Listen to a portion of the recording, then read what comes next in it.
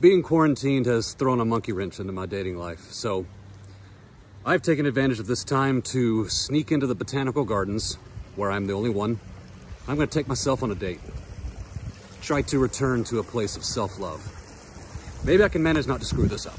Oh man, this is beautiful. Thank you so much for taking me here, Robert. Hey, pleasure's all mine. Hey, why don't we uh, lie here by this brook and get to know one another a little better? I would like that. Rob, I just wanted to say, I love you, man. A little quick to be declaring love on the first date, don't you think? Yeah, but this is a date that we're on with uh, with each other. You're right, Robert. I, um, I, I get really insecure on, on dates. I get in my head. That's all that was. I get that way too. We got this. Oh, thanks, Rob. And, and here we are. I thought we were self-sabotaging again. Not today. Come on, let's go exploring.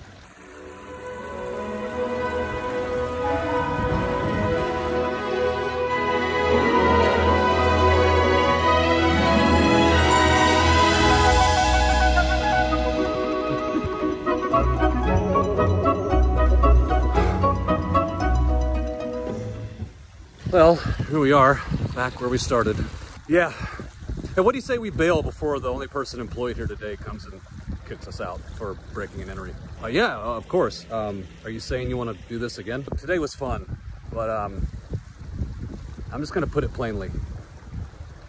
I'm not really feeling it, dude. All right, then. Well, uh, it was still great to get to do this. Um, Let's do get out of here though before we get kicked out. Walk of shame.